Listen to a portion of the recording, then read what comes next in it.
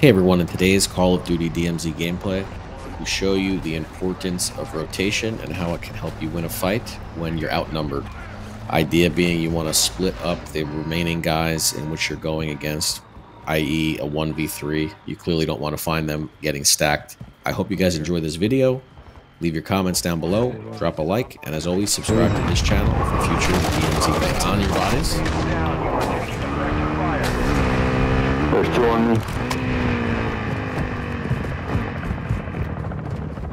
Chat, no plates. No plates. This is gonna go real well. Three guys stacked. Of course. Got tired.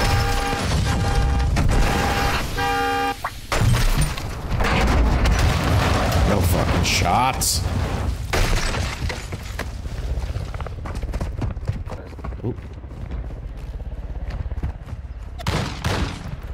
Come on.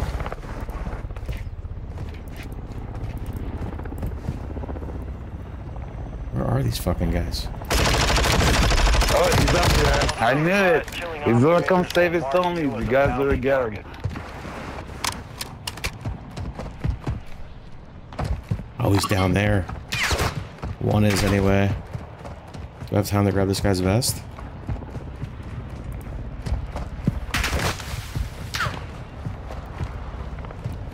Ultra One, heads up. We're seeing a squad of operators near your position. Requesting fire mission. Oh, they're over there. I saw him. Solid copy. Mortar strike on the way.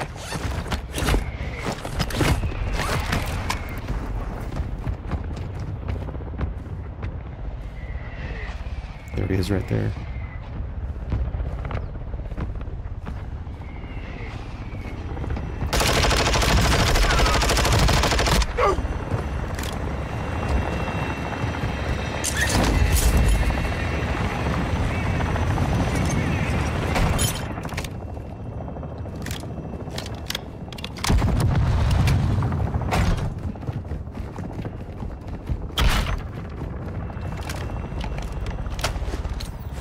Where was he? He's going up.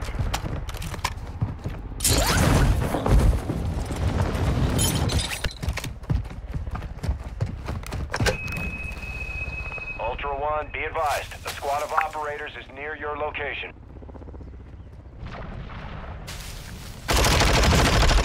Oh god damn, my controller got fucked up. We've also put a bounty company Yeah, my controller got Oh. Damn, daddy. You can call me. You can call me Papi. Papi Muñeño. You killed all of them? Yeah, that's a squad wipe, brother. Go get your shit. Mm-hmm.